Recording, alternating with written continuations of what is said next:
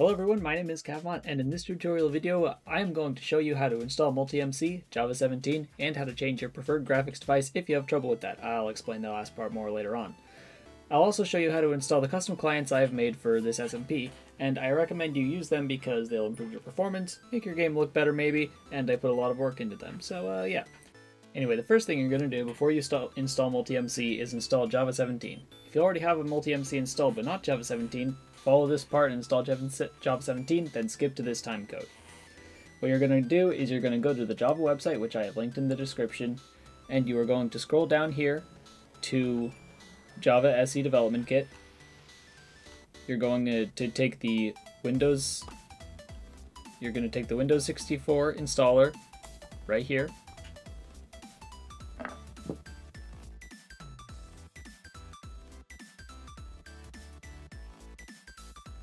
Once that's all downloaded, you're going to come here to your files, go to downloads, and you're just going to run this installer. Uh, as you can see, I already have it installed, so you're just going to have to do that by yourself. It's a pretty straightforward process, just do everything it tells you to do. Once you're done downloading Java 17, you're going to download MultiMC. Again, I have it linked in the description, and you're going to come here to the website, and you're going to download the Windows 32 slash 64 bit version. Of course, if you have Mac or Linux, you're going to download either of those. Once you have that downloaded, you're going to make a folder. Doesn't really matter where it is, just make sure it's somewhere out of the way. I'm just going to put it on the desktop for now. Then you're going to come to where you downloaded MultiMC. You're going to put this zip file for MultiMC into the folder you just created. And then you're going to extract that folder you're going you're going to extract the zip file into this folder. As and then you're going to open uh, this folder and you're going to run multimc.exe. Make sure you choose English or not unless you choose to speak unless you speak a different language. And then you're going to pick the version of Java that you just installed. It's going to be 17. You can also set your memory allocation to be more than one gigabyte so your game may run better. I suggest 4 gigabytes, which is going to be 4096 megabytes.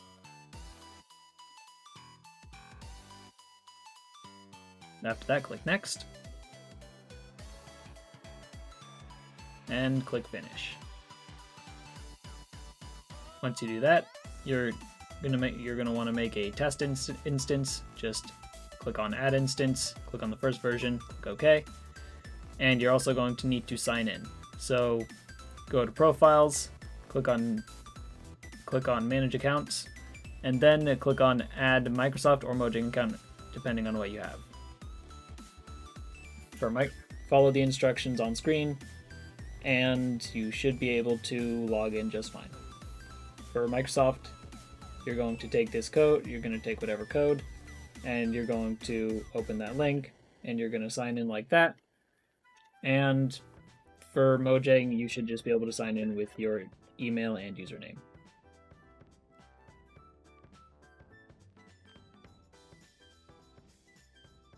Once that's all done, you can close that and just try launching this uh, instance to make sure it works.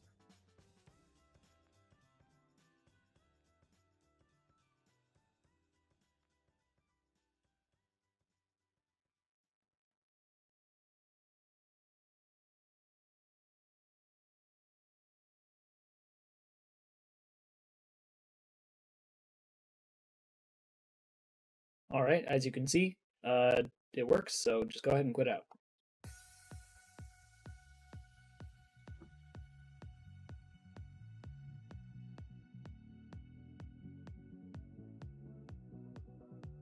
Now, if you already have MultiMC installed, but it wasn't working because you didn't have the proper Java version, uh, make sure you go back to step one and install Java 17.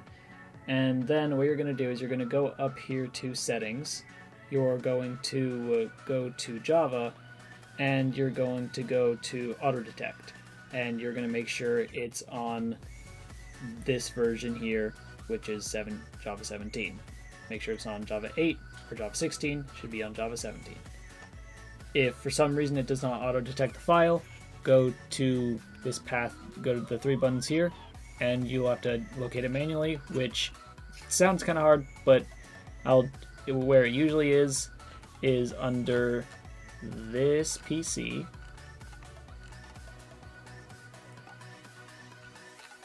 Under your C drive, program files,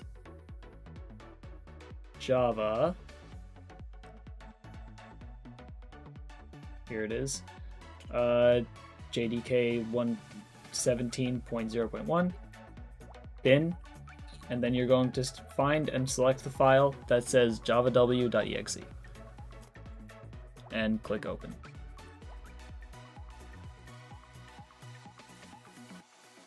Now to install the custom clients you're going to once again go to the link I have in the I have in the description or the Google Doc that has these two custom clients. OptiFabric is going to have more support for shaders, uh, resource packs, and it's going to have more video options.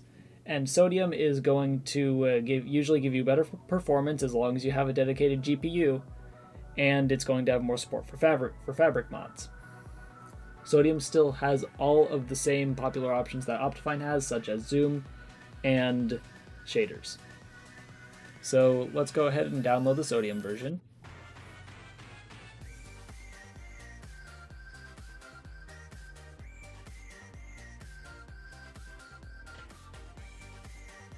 And once you have that downloaded, you're going to come over here to, and once you have that downloaded, what you're going to do is add instance, import from zip, browse, go to your downloads, and select the zip file you just downloaded. Give it a second to install.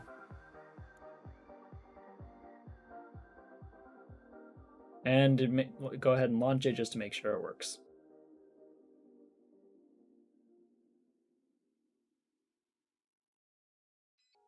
As you can see, it launched just fine, so you can go ahead and quit out. Or, you know, go ahead and play if you want. Lastly, if for some reason you are experiencing poor performance than you should, and you have a GPU and a CPU that supports integrated graphics, your performance issues may be due to Minecraft using your integrated graphics instead of your GPU. You can check in Minecraft by opening the F3 debug menu. To fix this, go ahead and go to NVIDIA Control Panel.